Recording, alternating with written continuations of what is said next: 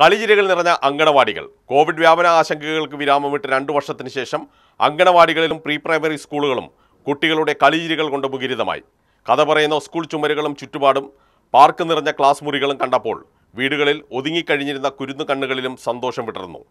Covid ആദ്യ തരംഗത്തിൽ തന്നെ അംഗൻവാടികൾക്ക് പൂട്ടുവീണിരുന്നു മൂന്നാം തരംഗ വ്യാപനത്തിന്റെ ആശങ്ക ഒഴിഞ്ഞ് ഇളവുകൾ വന്ന സാഹചര്യത്തിലാണ് തിങ്കളാഴ്ച മുതൽ കുട്ടികൾക്ക് പ്രവേശനം അനുവദിച്ചു തുടങ്ങിയത്. പുത്തനുടുപ്പും കുഞ്ഞൻ മാസ്കും അണിഞ്ഞ് കളിചിരികളും ബഹളങ്ങളുമായി കുരുന്നുകൾ എത്തിയതോടെ അംഗൻവാടികളും പഴയ ആവേശത്തിലായി. ആദ്യമായി സ്കൂളിലെത്തിയ സന്തോഷമായിരുന്നു പലരുടെയും മുഖത്ത്. രക്ഷിതാക്കൾക്ക് അകത്തേക്ക് പ്രവേശനമുണ്ടായിരുന്നില്ല. ആദ്യമായി സ്കൂളിലെത്തിയതിന്റെ കൗതുകം മാറിയതോടെ ചിലർ കരച്ചിലിന്റെ വക്കോളമെത്തി. എന്നാൽ കളിപ്പാട്ടങ്ങളും മിഠായികളും വർണ ബലൂണുകളുമായി അധ്യാപകർ നിരന്നതോടെ കുഞ്ഞുങ്ങൾ കളികളുടെ ലോകത്തായി. കുരുന്നുകൾ അംഗൻവാടിയിൽ എത്തിയതിന്റെ സന്തോഷത്തിലായിരുന്നു അധ്യാപകരും രക്ഷിതാക്കളും. വളരെ കാലത്തെ കാത്തിരിപ്പിന് ശേഷം നമ്മുടെ കുരുന്നുകൾ സ്കൂളിലേക്ക് കടന്നു വരുന്ന ഒരവസ്ഥ വീണ്ടും എത്തിയിരിക്കുന്നു. ആയതിനാൽ എല്ലാവർക്കും എല്ലാ കുഞ്ഞുങ്ങളും നല്ല സന്തോഷത്തോടെ വരുന്നുണ്ട്.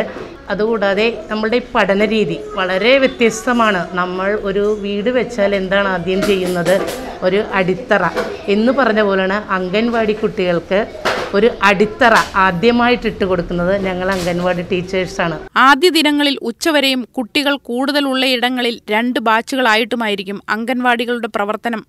ശുചീകരണം ഉൾപ്പെടെയുള്ള ഒരുക്കം പൂർത്തിയാകാത്തതിനാൽ ചില അംഗൻവാടികൾ പ്രവർത്തിച്ചില്ല.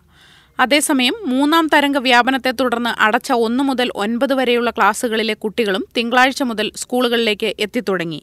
രാവിലെ മുതൽ ഉച്ചവരെ ബാച്ച് അടിസ്ഥാനത്തിലാണ് ഇവർക്ക് ഈ ആഴ്ച ക്ലാസുകൾ